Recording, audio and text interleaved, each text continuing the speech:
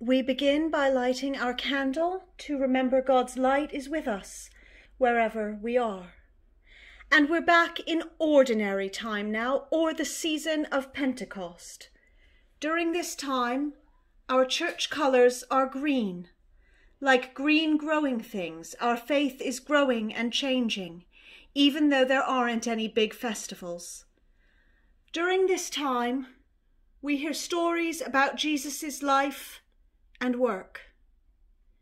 Filled with the Holy Spirit, Jesus went out among the people to heal the sick, to raise the dead to new life, to bring good news to the poor, and to give hope to people who were sad or scared or lonely. He told stories and he showed people what God is like. He chose twelve disciples, his friends and helpers, to share his life and his work. Many people were following Jesus. Sometimes there were big crowds following him. Some people, the wealthy and powerful people, were afraid of the crowds because they thought Jesus might take away their power. Other people thought that what Jesus was saying didn't make any sense, and they were afraid. Some of them went to Jesus' mother and his family and said, You need to help Jesus. He's saying things that don't make any sense. We're worried he isn't well. Maybe he's even joined the enemy's side. When Jesus heard about this, he said, I am able to heal people who aren't well, to cast out demons from the enemy. If I had joined the enemy's side, how would I cast out the enemy? We would be on the same side. My power, therefore, comes from God. But Jesus' mother and brothers came anyway. They couldn't get near him because so many people were sitting around him and listening to him. But some of his friends said, Jesus, your mother is here. Your brothers are here.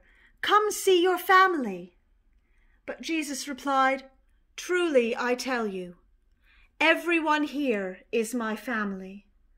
Whoever does what God wants is my brother, my sister, my mother. And everyone who heard him wondered about what he meant. And now we're going to wonder too. And if you want to pause the video to wonder with the people that you're with, you can do that. I wonder what your favourite part of that story was. I wonder what the most important part of that story was. I wonder what Jesus meant when he said, Everyone who does what God wants is his family. I wonder what it means to be a family. I wonder what being a family is supposed to feel like. I wonder what places in your life feel like that. I wonder if your church feels like a family.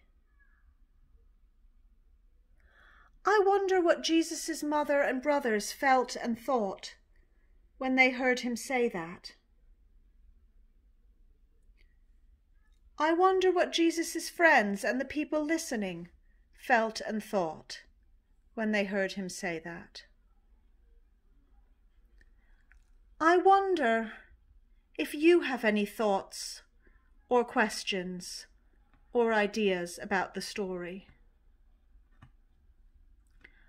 I wonder if there's anything in your house that you'd like to use to make something or play with this story.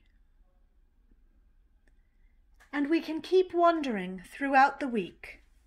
But for now, our story is finished.